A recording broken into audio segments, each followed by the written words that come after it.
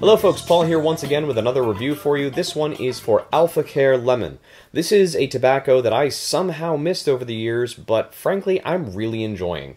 Um, I got this in the Hookah Box subscription, which is great. Um, I've got a review for that, and hopefully you've either seen it or it is coming in the future.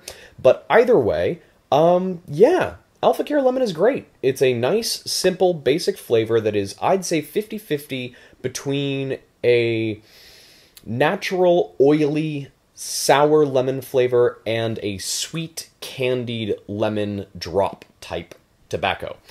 I'm really enjoying it. I think it is very tasty. It's nicely balanced. It's got a little bit of sourness, but a decent amount of sweetness without being cloying. It is definitely a little more on the candy side of things, but it has elements of that kind of oily, like uh, lemon skin, lemon pith kind of flavor that I really, really love. Um, but it's not bitter. It's nice. It's a thumbs up. I'm really enjoying this. And if you like citrus flavors, I definitely suggest trying this one out.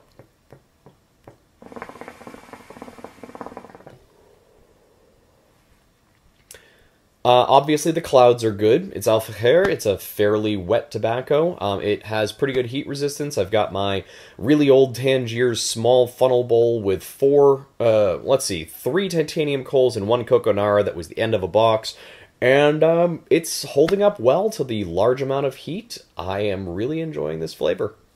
Yeah, that's it. This is a quick review. It's a positive one for Al Fakher Lemon, and I definitely suggest trying this one out.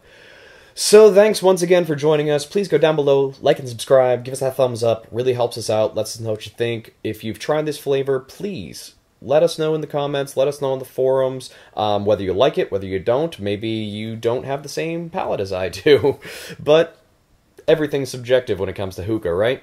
So anyways, thanks again, and happy smoking.